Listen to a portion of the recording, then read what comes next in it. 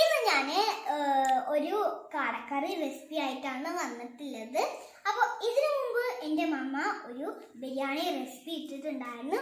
അത് ഇതുവരെ കണ്ടിട്ടില്ലെങ്കിൽ ഡിസ്ക്രിപ്ഷൻ ബോക്സിൽ അതിന്റെ ലിങ്ക് ഞാൻ കൊടുത്തിട്ടുണ്ട്. അവിടെ കാണണം. അപ്പോൾ ഇന്ന് നമ്മൾ ഉണ്ടാക്കാൻ പോകുന്നത് ഒരു കാടക്കറി റെസിപ്പിയാണ് അപ്പോൾ നേരെ വീട്ടിലോട്ട് പോവാം.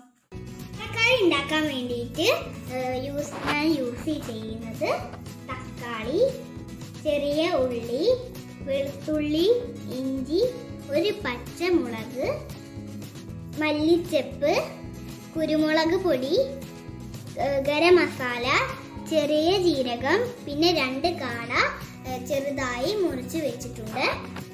വെളിച്ചെണ്ണ കൂടി വേണം കേട്ടോ. മമ്മയാണ് കത്തിക്കുന്നത് ചട്ടി നന്നായിട്ട് ചൂടായി വരുമ്പോൾ ഇതിലോട്ട് നമ്മൾ വെളിച്ചെണ്ണ ചേർത്ത് കൊടുക്കണം.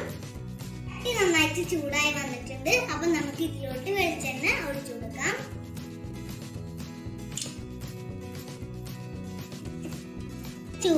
ചൂടാകുമ്പോഴത്തേക്കും നമുക്ക് ഇതൊക്കെ മിക്സിയിലിട്ട് ക്രഷ് ചെയ്തെടുക്കണം.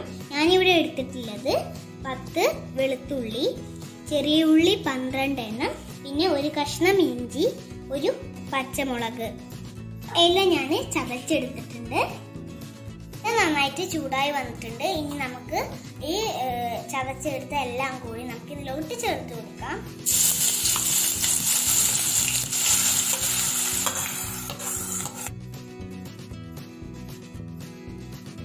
പച്ചമുളക് മാറുന്ന വരെ നമുക്ക് ഇതൊന്ന് ഇറക്കി കൊടുക്കാം.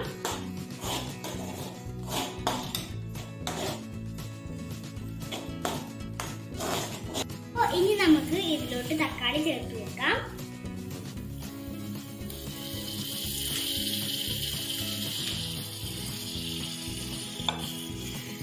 ഇത് നന്നായിട്ടൊന്ന് മിക്സ് ചെയ്ത് കൊടുക്കാം.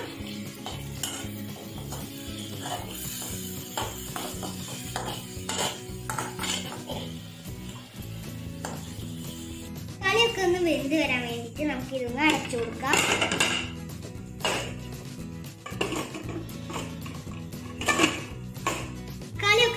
നന്നായിട്ട് വേവായിട്ടുണ്ട്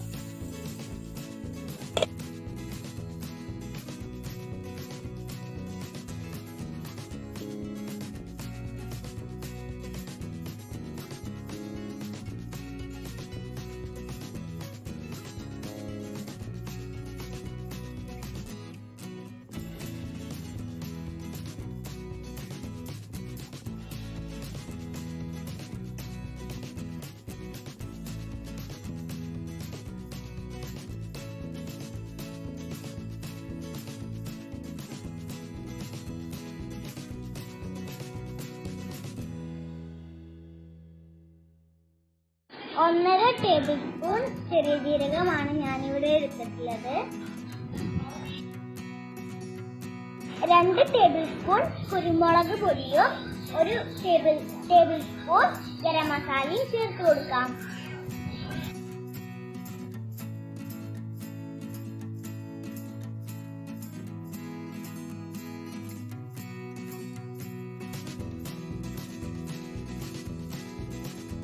ഒരു കപ്പ് വെള്ളം ഒഴിച്ചു കൊടുക്കാം.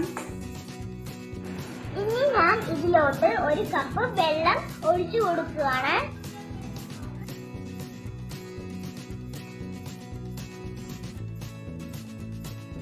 ഇനി ഇത് തിളക്കാനായി നമുക്ക് വെയിറ്റ് ചെയ്യാം.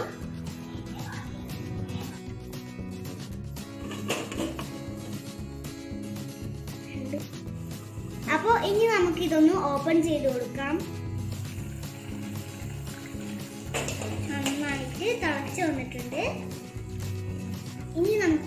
ഇതിലോട്ട് നമ്മുടെ കാട ചേർത്ത് കൊടുക്കാം.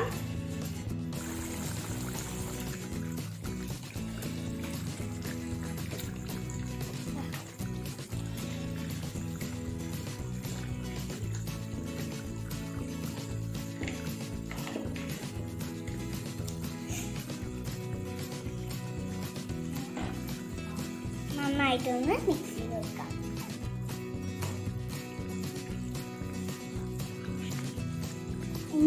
നമുക്ക് ആവശ്യത്തിന് ഉപ്പ് ചേർത്ത് കൊടുക്കണം.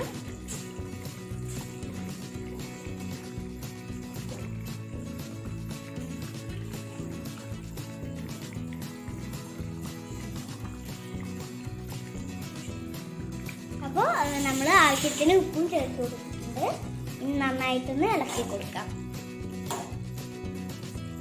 അപ്പോൾ നല്ല സ്മെല്ലൊക്കെ വരുന്നുണ്ട്.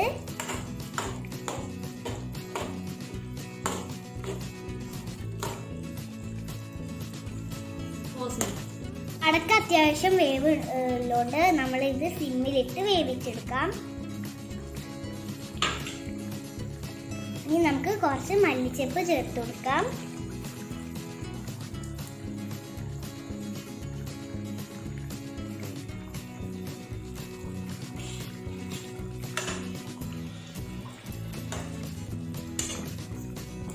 ഇനി നമുക്കിത് ക്ലോസ് ചെയ്ത് വെക്കാം.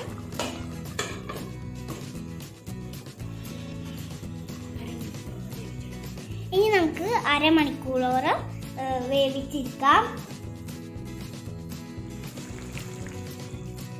അപ്പൊ നമ്മുടെ ടേസ്റ്റി കടക്കറി ഇവിടെ റെഡി ആയിട്ടുണ്ട്. ഇത് ചോറിലേക്കും ചപ്പാത്തിയിലേക്കും ശരിക്കും ഭയങ്കര ടേസ്റ്റ് ആണ്.